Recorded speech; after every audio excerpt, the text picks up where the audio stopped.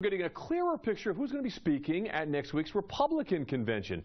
Senate Majority Leader Mitch McConnell now says he's on tap to speak.